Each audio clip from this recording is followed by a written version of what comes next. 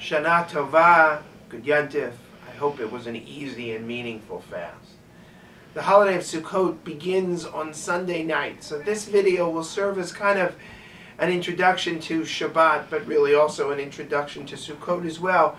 But also, by the same token, an introduction to something that I want to do this year, this Jewish year, in each of my Friday videos. In the past, I've given you a short message about the Torah portion, or the holiday that's coming. This year, I want to center my remarks around one home observance, one thing that you can do at home that is thematically appropriate, calendar appropriate, so that you can increase your Jewish observance in each and every home within our community.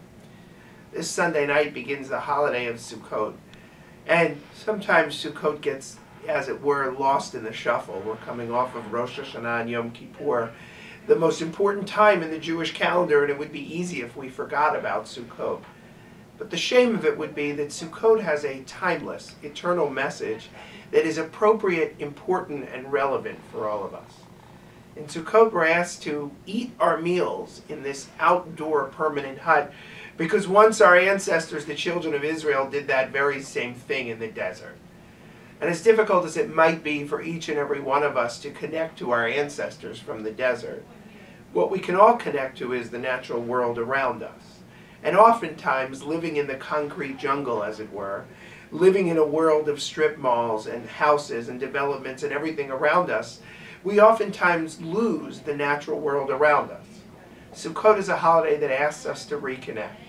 Reconnect with the fact that nature is happening around us whether or not we take notice, and if we take notice, we just might see something miraculous. So if you have a sukkah, eat in your sukkah this week. It'll be a beautiful experience. If you don't, come eat in ours. It's always open.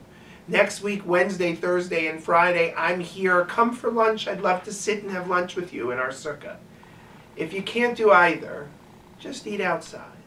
Enjoy this change of season from summer to fall, which is exactly when Sukkot is supposed to happen, to somehow once again reconnect us to the world around us. Shabbat Shalom, Chag Sameach.